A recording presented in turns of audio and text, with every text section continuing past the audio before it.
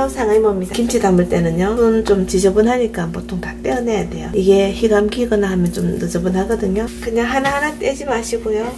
이렇게 끝부분만 전을 부쳐 먹을게요. 먹기 좋은 사이즈로 잘라서 물에다가 담가 놓을게요. 한 500g만 할게요. 좀뭐 식초를 소주잔 하나 부어 놓겠습니다. 1시간 정도 담가 놨다가 열을 확인을 하고 먹는 게 좋습니다. 물론 이제 없다고 보지만 혹시나 해서 씻어서 김치를 담겠습니다.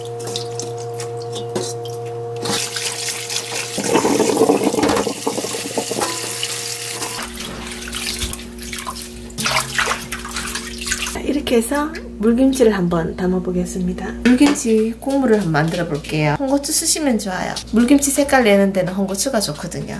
저는 홍고추가 세일하거나 가격이 좀 싼 거 있으면 사서 이렇게 냉동시켜 놓거든요. 그래서 이게 얼은 거예요. 얼은 거를 한번 물에 살짝 헹궈서 녹기 전에 요리하셔야 됩니다. 얼은 상태에서요.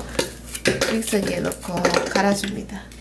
그래서 늘 홍고추가 얼려져 있는 게 몇 개씩 들어있습니다. 양파는 약간만 넣겠습니다. 반 개도 아니고요. 진짜 약간만 넣어요. 저는 마늘요. 한 4쪽만 넣을게요. 그리고 여기는 액젓을요. 한 스푼만 넣겠습니다. 고추와 마른 고추를 섞어서 쓰는데요. 마른 고추 한 스푼 넣고요. 아까 끓여뒀던 찹쌀풀, 이건 두 컵이죠. 찹쌀풀 두 컵을 넣습니다. 그리고 여기는 소금으로 간을 해주는데요. 이렇게 한 스푼 넣을게요. 모자라면 나중에 좀 더 넣으면 됩니다. 일단 믹서기 돌려주기 전에 이거 지금 빡빡해서 믹서기 안 돌아가거든요. 그러면 물을 좀 넣어줄게요. 종이컵 한 컵. 이렇게 해서 믹서기 좀 돌려줄게요.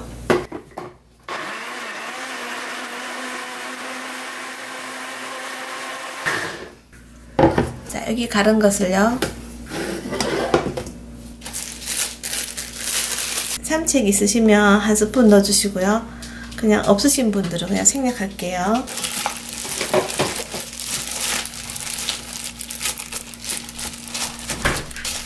그래서 미나리가 숨 죽을 때까지 기다리겠습니다.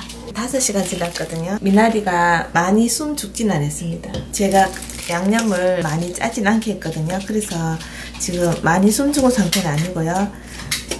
드시고 싶으신 분은 이 상태로 익혀서 드셔도 돼요. 근데 물을 부으시려면 이거보다는요 조금 더 숨이 푹 죽고 맛들은 다음에 물을 부으시는 게 좋아요.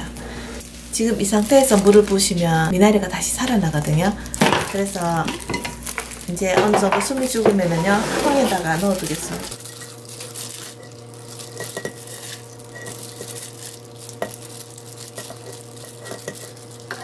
저는 미나리는요 원하시는 길이대로 자르면 되는데 저는 건더기를 위주로 먹는 물김치이기 때문에 국물 많이 안 잡을 거거든요.